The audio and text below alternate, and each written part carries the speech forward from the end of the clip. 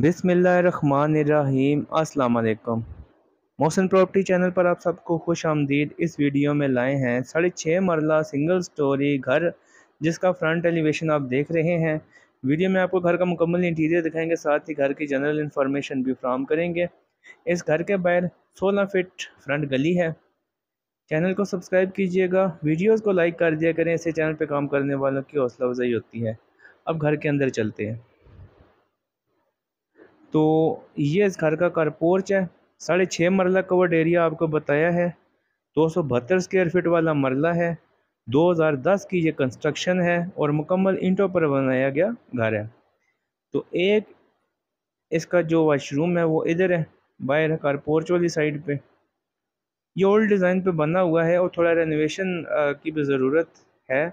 खैर रेनोवेशन क्या कहना कि यहाँ पर डिस्टेंपर वगैरह भी अगर करवा लिया जाए तो जो एक मिडिल क्लास फैमिली है, उसके लिए ये सूटेबल घर है रहाइश के लिहाज से। तो इस घर में दो बेडरूम हैं, दो वाशरूम है, एक किचन है, एक ड्राइंग रूम है और एक स्टोर रूम है।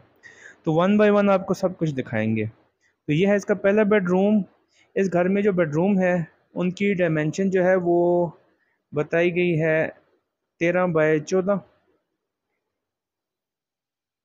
और मार्बल फ्लोरिंग वर्क है ये इसमें। बाकी नॉर्मल सीलिंग है जैसे ओल्ड घरों की होती है। बात करें फैसिलिटीज़ की, पूछा जाता है कि घर में क्या क्या सहूलतें हैं तो बिजली की सहूलत है, पानी की सहूलत है, बोर का पानी है, गैस का कनेक्शन इसमें नहीं है। ये इस तरह से आगे ओपन इसका ये सैन बना हुआ है।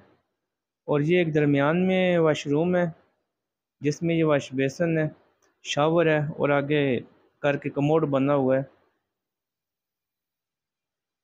और इसके आगे एक और बेडरूम है, जो कि इसका दूसरा बेडरूम है।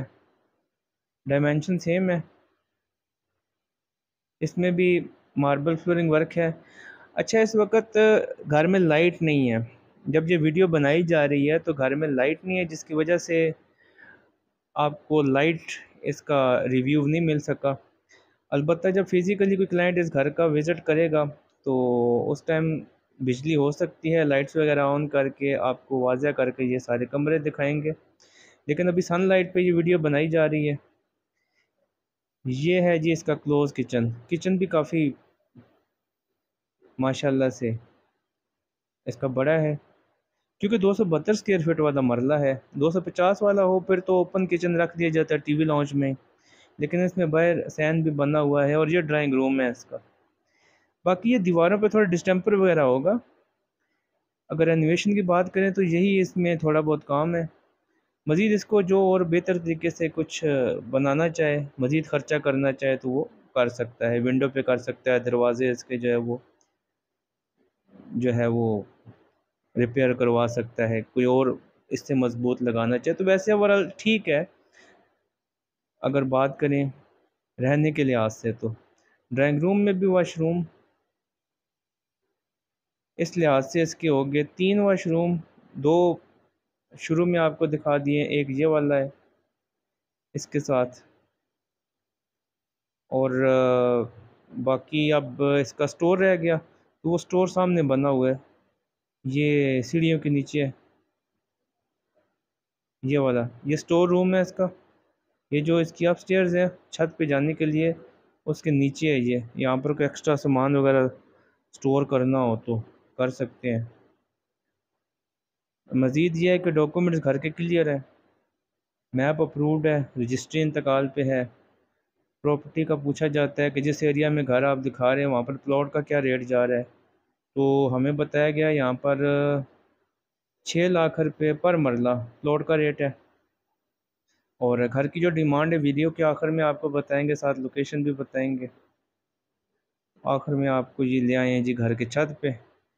ये देखें, मुकम्मल ईंटों पर ये घर बनाया गया है। पानी वाली टंकी है। ये है जी इसका छत। क्लियर हो गया। ओवरऑल जो घर का इंटीरियर था। वीडियो के लास्ट में आपको घर की डिमांड और लोकेशन बताते हैं। इस घर की डिमांड पचहत्तर लाख रुपए की गई है, जिसमें टेबल टॉक पर खसूसी रायत भी की जाएगी। लोकेशन डोकनूर, नज़द बाकर कलोनी, कासम बेस के ऑपोजिट है और ये एरिया रावलपिंडी में शामिल होता है। फ़िज़िकली अगर आप इस घर का विज़िट करना चाहें तो टाइटल या डिस्क्रिप्शन में दिए गए नंबर पर रबता कर सकते हैं। शुक्रिया।